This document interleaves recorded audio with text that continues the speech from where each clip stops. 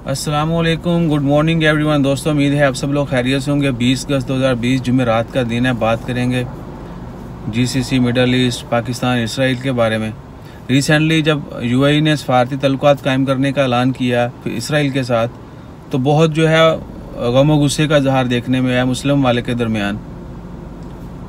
चूँकि हमारा किबला अव्वल जो है, वो फ़लस्तीन है।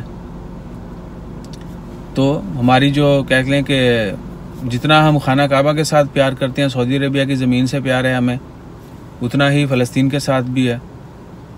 तो मेरी ये वीडियो बनाने का मकसद ये था कि वो लोग जो बहुत ज़्यादा क्रिटिसाइज़ कर रहे थे पाकिस्तानी गवर्नमेंट को कि they will accept also but yesterday कल 19 अगस्त को जो है, पाकिस्तान प्राइम मिनिस्टर उन्होंने ऑफिशली जो है अनाउंस कर दिया है कि they will never ever accept Israel until unless they came on that agreement 1967 में एक एग्रीमेंट हुआ था।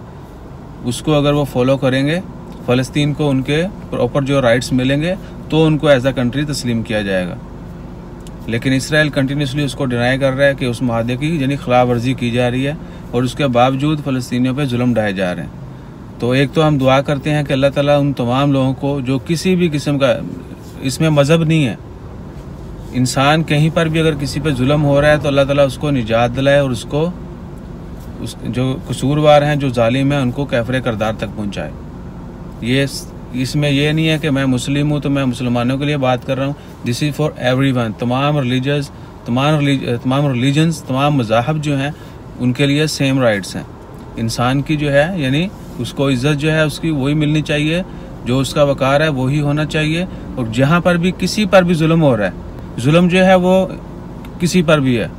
यानी ऐसा नहीं है कि सिर्फ़ हम कहते हैं कि जी हमारे ऊपर ही जुल्म किया जा रहा है या फलां के ऊपर ही जुल्म किया जा रहा है। जहाँ पर भी जिसी, किसी के भी ऊपर जुल्म किया जा रहा है, अल्लाह ताला उसको उस जालम से निजात दिलाए और जालम को कैफरे करदार तक पहुँचाए। This is all simple logic है। इसमें रिलीजियस को जो है ना, वो मत घसीटिएगा क्रिटिसाइज मत करिएगा। तमाम मजाहब में हर जगह पे अच्छे बुरे लोग होते हैं।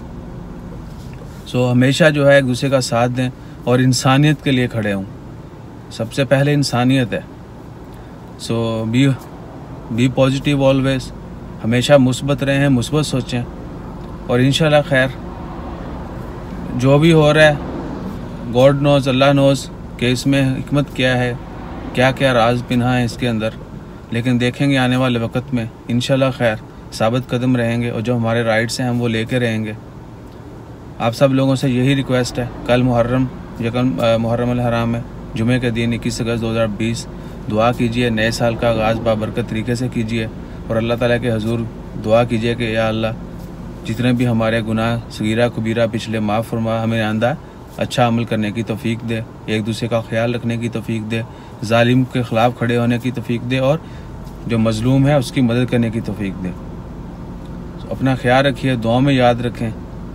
जितना मुमकिन हो सकता है, हमेशा जो है, अल्लाह ताला के हजूर गड़गड़ाते रहें और अल्लाह ताला के खौफ में अपने दिल में, अपने खौफ को अपने दिल में रखें। इन खैर, कामयाबी एक दिन हमारे कदम चूमेगी, लेकिन हमें मुस्बत रहना है, पॉजिटिव रहना है। अपना ख्याल रखिए, अपने इर्द गिर्द लोगों का ख्याल रखिए, अपने तल्लुक को मज़बूत कीजिए। रिलेशन जो हैं, जो रिश्ते हैं, वो हमारा सबसे कीमती असासा है। सो इन खैर, मिलते हैं अगली वीडियो में मज़ीद ख़बरों के साथ।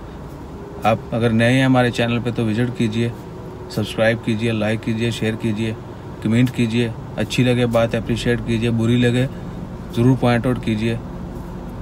Will clear will clear that mistakes in खैर, अल्लाह हाफिज़।